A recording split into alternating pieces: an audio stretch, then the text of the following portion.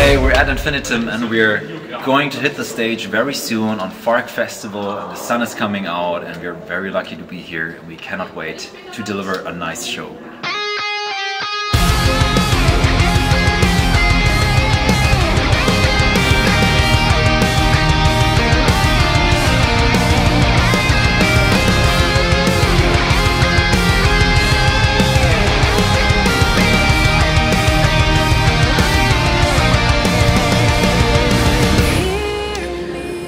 It's our first headliner show, so it's uh, it's it's impressive that we get to do this as a second show, and it's very nice as well. And there's plenty of people coming from everywhere, so we're very excited, and we hope that we will give them a wonderful show and that they will be happy.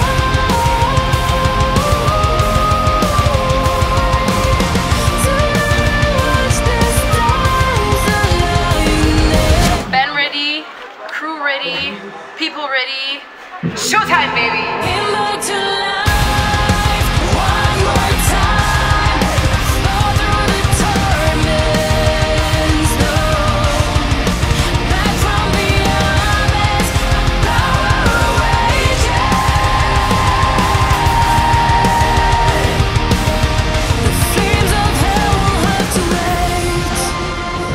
Hey, I'm Korbinian. I play the low bass. Hey, I'm Adrian. and I play the high bass.